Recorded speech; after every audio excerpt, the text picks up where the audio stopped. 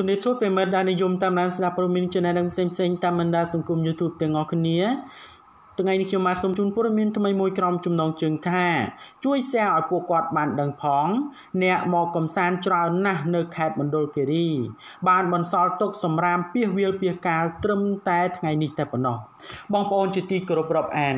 បងប្អូនខ្មែរយើងមួយចំនួនតូចហាក់បីដូចជាគាត់បាទខ្វះនៅការយល់ដឹងខ្លាំងណាស់បាទធុងសម្រាមនៅក្បែរនឹងគាត់មិនយកទៅចោលទេ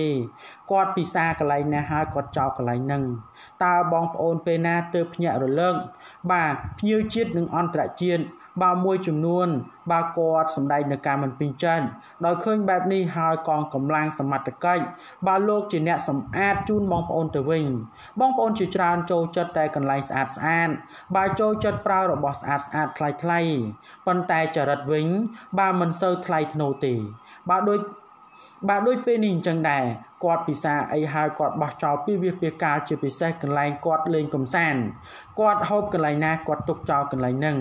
បាទនេះគឺជាការអន់ចរិតមួយរបស់បាទបងប្អូនពលរដ្ឋយើង បាទសូមអភ័យទោសបើសិនជាការបាទលើកឡើងមានការជ្រុលជ្រួបាទដូច្នេះកុំឲ្យប្រិយមិត្តរបស់យើងរងចាំយូរសូមមេត្តាជួយ Subscribe និង Like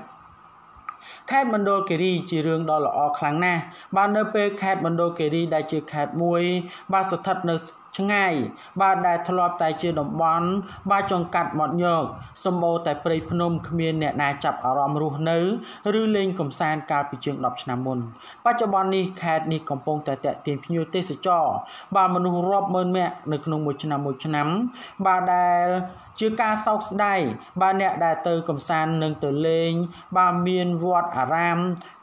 បាទសិតតែថង់ផ្លាស្ទិកបាននឹងបានបោះចោលពីវាពីកាលស្ទើរតែគ្រប់ទីកន្លែងអញ្ញាធរស្រុកអូរាំងបាទកាលពីរសៀលថ្ងៃទី17ខែសីហាលោកបានឲ្យដឹងថា បាទនៅតាមដងផ្លូវជាតិលេខបាទ76ពីស្រុកអូរាំងទៅ បាទក្រុងសែនមនោរមបាទចំណុចចំការស្រល់និងវាលស្មៅ មានរថយន្តអ្នក ដើរលេងរាប់រយគ្រឿងបានឈប់សំចតបាទគ្នាចតរូបថតរូបទេសភាពដ៏ស្រស់ត្រកាលប៉ុន្តែពួកគាត់បែរជាបន្សល់ទុកនៅ បាទសម្រាម បាទជាច្រើននៅតាមដងផ្លូវដែល បាទតម្រូវឲ្យសមត្ថកិច្ចនិងអាជ្ញាធរត្រូវនាំគ្នាដើររើសបាទប្រមូលយកទៅចោលតាមក្រោយ។ ចំណែកអ្នកភូមិរស់នៅតាមទីរមណីយដ្ឋាននានា នៅក្នុងស្រុកពីមជរបាទសំតោស្រុកបាពេក ពេជ្ជដា និងបាក្រុងសែនមនោរមក៏បានឲ្យដឹងដែរថាកន្លែងដើរលេងកំសាន្តដូចជា បាសមុទ្រឈើបាភ្នំអណ្ដូងស្នេហ៍ចំការដើមស្រស់និងទីតាំងទេសភាពជាច្រើនត្រូវបានអាប់អួរបាសម្រស់ព្រោះតែអ្នកដើរមួយចំនួននាំគ្នាហូបហើយអង្គុយលេង បាននៅទីនោះរួចមិនបានប្រមូលសម្រាមយកទៅចោលត្រឹមត្រូវឡើយ។ អញ្ញាធរខេត្តបានសំណូមពរដល់ភ្ញៀវទេសចរទាំងអស់បើចូលរួមទាំងអស់គ្នា ដើម្បីថែរក្សាបរិស្ថានជាពិសេសតំបន់ទេសចរធម្មជាតិដែលបងប្អូនត្រូវស្រូបយកខ្យល់អាកាសបរិសុទ្ធបើម្នាក់ចោលបន្តិចបើវាប្រកាសជាបង្កើតជាគំនូរសម្រាមបំផ្លាញដល់ធម្មជាតិវិញនិងបំផ្លាញដល់បរិស្ថានថ្ងៃក្រោយប្រកាសជា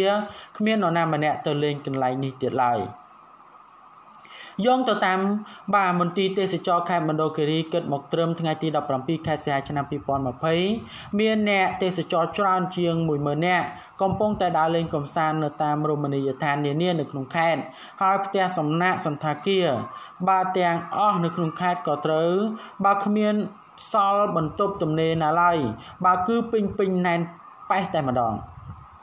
បាទដូច្នេះព័ត៌មាននេះមានប៉ុណ្ណឹងដើម្បីទទួលបាននូវព័ត៌មានថ្មីៗបន្ថែមទៀតសូម Subscribe និង Like ខ្ញុំបាទសូមអរគុណនិងសូមគោរពលា